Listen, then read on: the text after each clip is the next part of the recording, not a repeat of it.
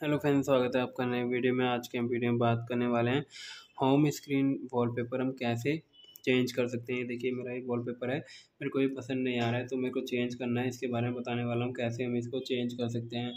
तो चलिए friends, video को शुरू करते हैं। वीडियो को शुरू करने से पहले अगर आप चैनल पर नए हैं तो चैनल को सब्सक्राइब और वीडियो को लाइक कर दीजिए। फ्रेंड्स, जैसे कि आप देख सकते हैं, मेरे पास ये रेडमी का फ़ोन है और आपको सबसे पहले क्या करना है सेटिंग पर क्लिक करना है तो क्लिक कर लेंगे। सेटिंग पर क्लिक करते ही आपको इस तरीके का आइकन शो करेगा। यहाँ पर आपको क्या करना होगा? थोड़ा सा ऊपर की साइड स्क्रॉल करना है। और होम स्क्रीन वाले ऑप्शन पे क्लिक कर सॉरी फ्रेंड्स वॉलपेपर पर क्लिक करना है। वॉलपेपर पर क्लिक करते हैं यहाँ से आपको डिफरेंट डिफरेंट टाइप के जो है वॉलपेपर दिए जा रहे हैं। तो आप अपनी होम स्क्रीन पर कोई सा भी वॉलपेपर चेंज कर सकते हैं। जैसे कि फ्रेंड्स मैं ये लगा लेता हूँ। अप्लाई करता हूँ, अप्लाई करते ही आपसे पूछ रहा है sets lock screen sets home screen sets both both का मतलब होता है दोनों पर सेट करना चाहते हैं चेंज करना चाहते हैं। तो मेरे को तो होम स्क्रीन का चेंज करना है तो मैं होम स्क्रीन पर क्लिक करूँगा और यहाँ से अप्लाई हो जाएगा।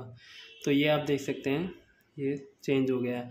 तो उम्मीद है फ्रेंड्स आपको वीडियो पसंद आएगी। वीडियो पसंद आएगी तो चैनल को सब्सक्राइब कर वीडियो को लाइक कर दीजिए। मिलते हैं नेक्स्ट वीडियो में, तब तक के लिए नमस्कार।